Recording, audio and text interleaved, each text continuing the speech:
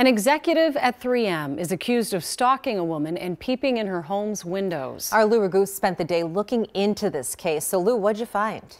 Lauren Julie, this case started when the victims opened their blinds and saw footprints in the snow by the ground level windows. Then they put up a video camera that caught the man returning.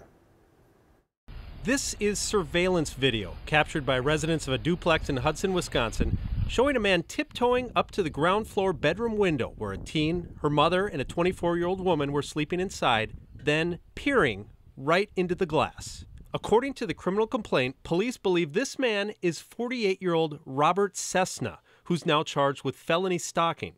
Cesena is an executive at 3M. According to his LinkedIn profile, he's the global key account vice president and has been with the company since 1997. Once you go through your home and uh, you know you lay in your bed, you want to feel safe being at your residence, and that's why we want to get out there and definitely take these calls seriously. Hudson police responded when a neighbor saw a man outside the home who looked just like the person in the video, which was captured and circulated among neighbors the night before.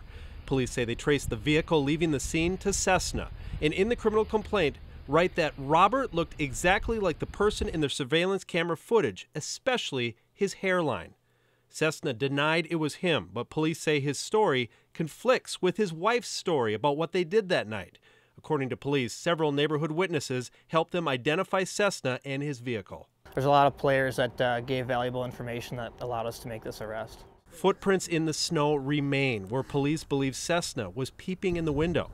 Not just once, but multiple times. But the criminal complaint does not spell out a clear connection between him and the victims, and he does not admit anything.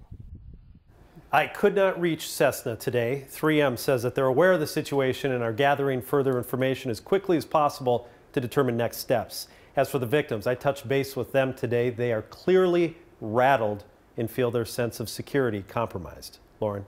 All right, Lou, thank you.